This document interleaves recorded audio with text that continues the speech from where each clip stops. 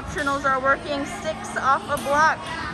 As Kylie so lovely demonstrated back tuck stick. Nyla's gonna go layout.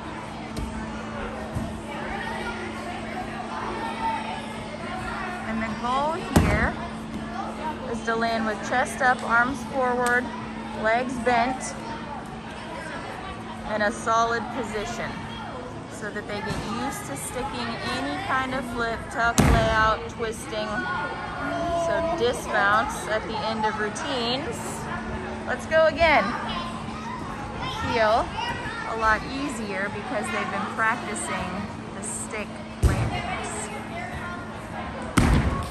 So Kylie's gonna work on not throwing the head back, setting a little bit more, keeping head neutral, but it was a good landing.